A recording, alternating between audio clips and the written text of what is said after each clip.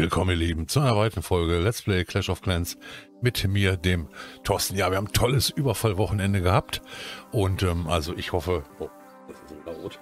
Ich hoffe, dass ihr ein äh, tolles Überfallwochenende gehabt habt. Also ich habe es in jedem Fall gehabt, denn ich habe mit allen Accounts Tuto komplett hier angegriffen. Das heißt also, alle meine Accounts haben auch ihre zusätzlichen Angriffe herausgespielt, denn dieses Mal lief es natürlich schon ein bisschen besser.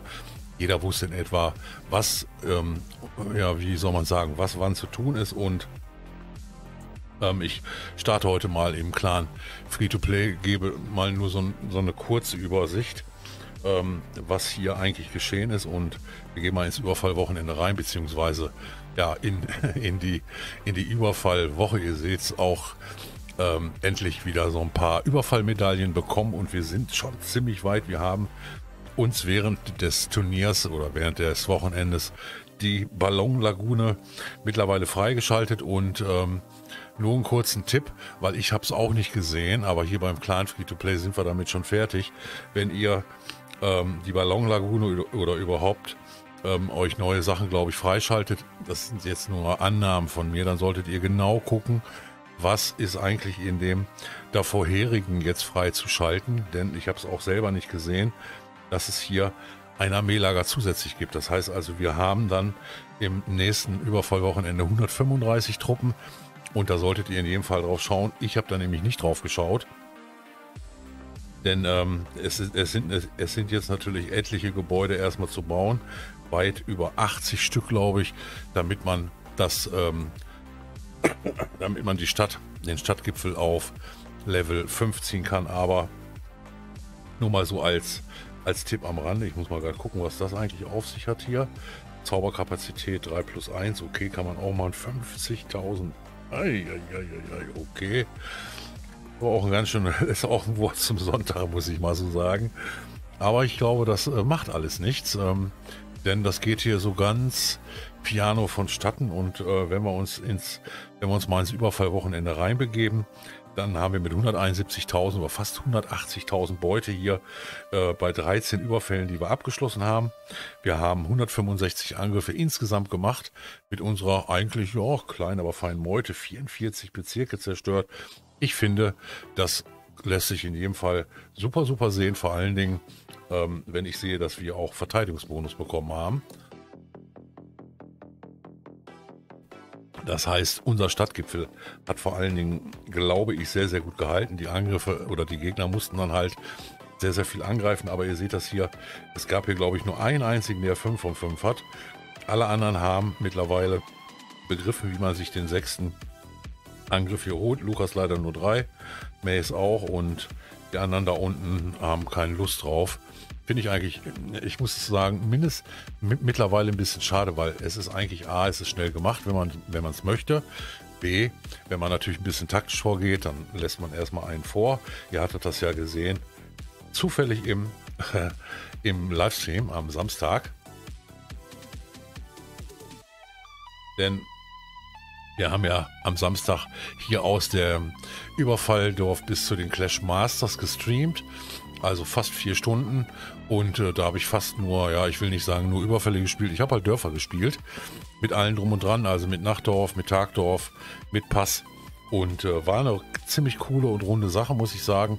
Und hat auch Laune gemacht. Ähm, es gab dann auch aus Reihen der Zuschauer tolle Tipps und Tricks, wie man hier weiter vorgeht. Und ähm, jetzt muss ich mal gerade gucken.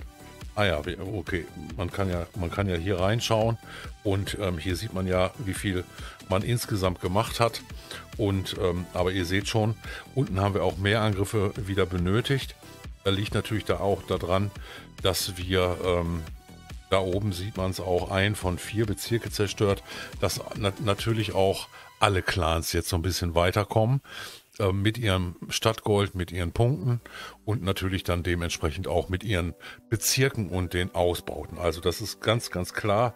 Und ähm, ich, jetzt müsste ich selber mal gucken hier, äh, wo ich selber denn tätig war. Denn am Ende hat man dann, äh, ja, ja, also jetzt nicht so eine wahllose Armee genommen, sondern man hat schon, ähm, also deswegen auch zufällig oder eine zufällige Armee äh, oder eine Random Armee genommen, sondern man hat dann schon geguckt, was ist eigentlich noch über was ist eigentlich noch über? Ihr seht das hier, Lela hat hier zugemacht, beziehungsweise nicht Lela, sondern Romano hat hier zugemacht, aber ich habe hier auch mit Lela und mit Alex zwei Angriffe drauf gemacht und ähm, jetzt muss ich aber mal schauen, ob ich hier nicht irgendwo auch zugemacht habe. 100% hat er gemacht.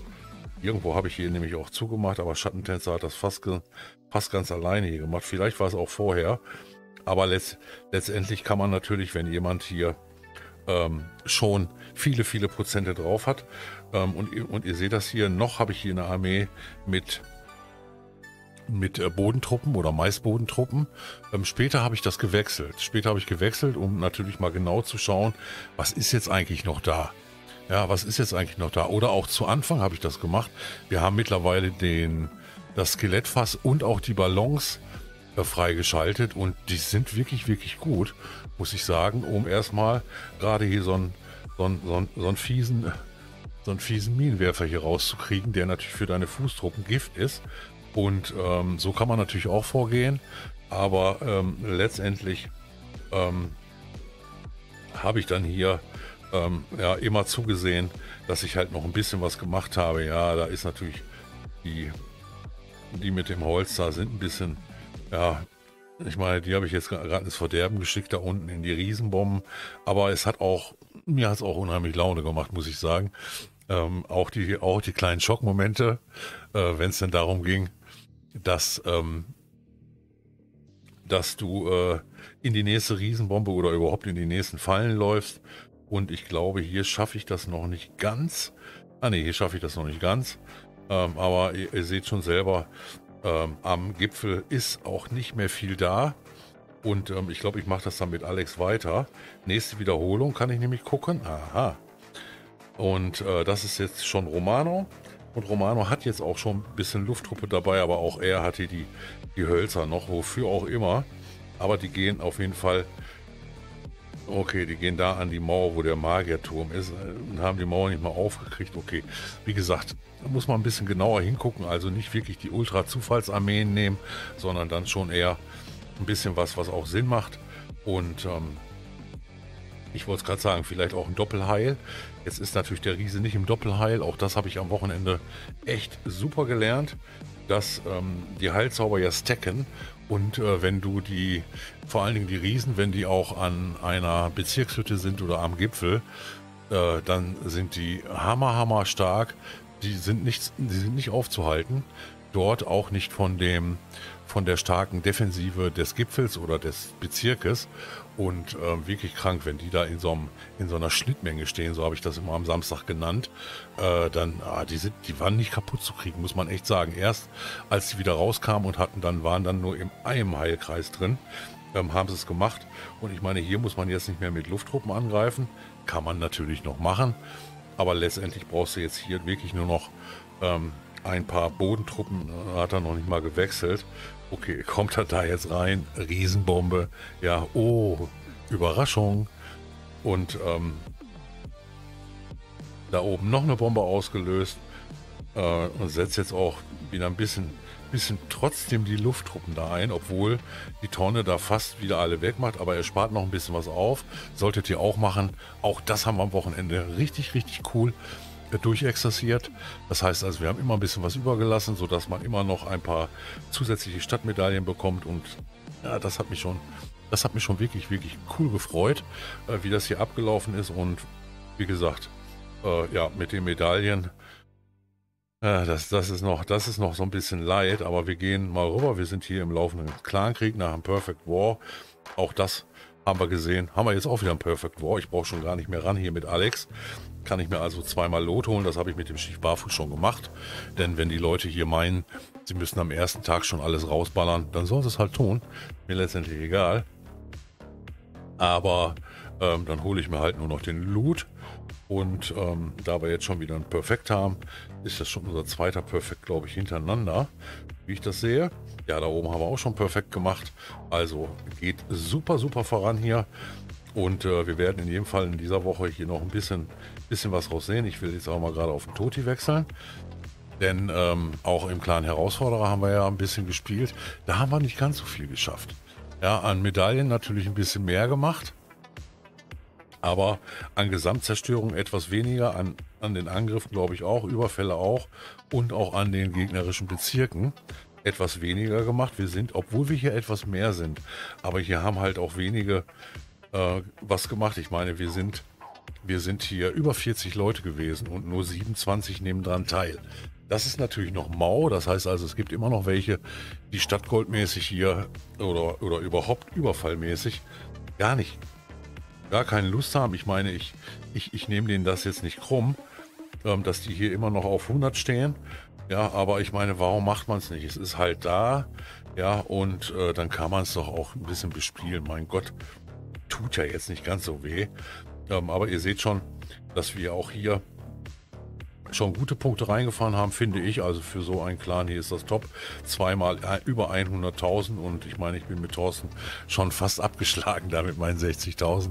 Also Skull und Mortus, die ballern hier ganz gut rein, muss ich sagen. Äh, kann man aber auch machen. Ähm, kann man aber auch machen. Oh, ich kann hier schon wieder abholen, okay.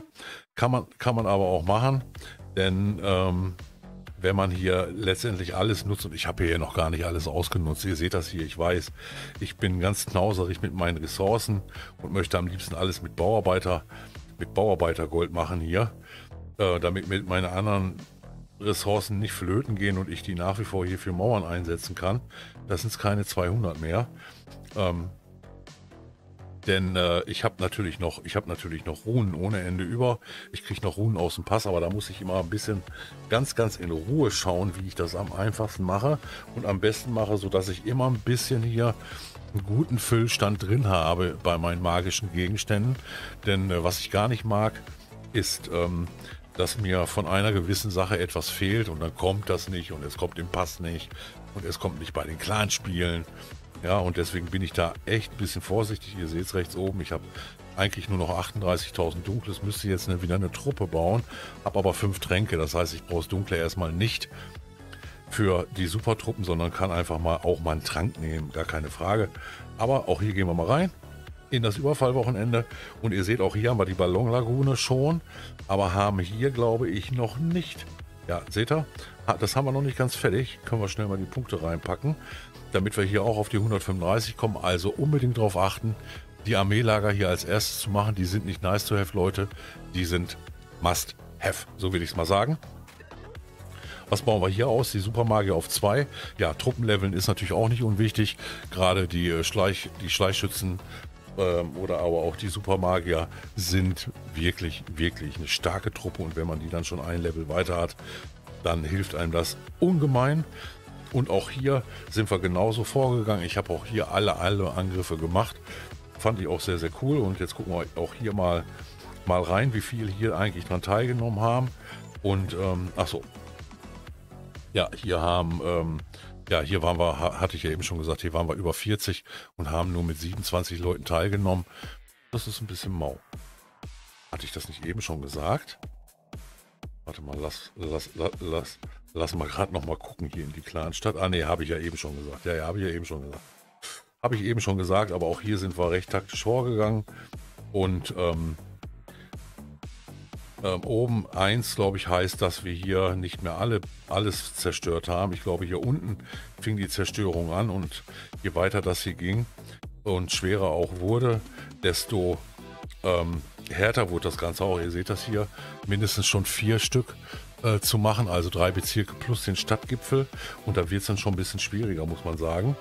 Äh, wir gucken mal, Skull hat hier fertig gemacht, King of Devil. Auch hier schauen wir mal, wie die sich so ein bisschen vorgekämpft haben. Und äh, das ist, glaube ich, immer noch so ein bisschen das Default-Dorf oder aber irgendeine eine fertig gebaute Base.